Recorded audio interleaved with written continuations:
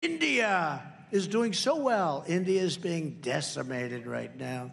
We did a great job on that. The ventilators, the equipment that we got, the cupboards were all bare, everything that we did. And then we developed a vaccine, three vaccines in three months, in nine months. And actually, I'll tell you, it was three days less, three days less than nine months. And it's great. And you know what? I believe totally in your freedoms. I do. You got to do what you have to do. But I recommend take the vaccines. I did it. It's good. Take the vaccines. But you got, no, that's okay. That's all right. You got your freedoms. But I happen to take the vaccine. If it doesn't work, you'll be the first to know, okay? I'll call up Alabama. I'll say, hey, you know what? But it is working. But uh, you do have your freedoms. You have to keep, you have to maintain that. You have to maintain that. And you got to get your kids back to school.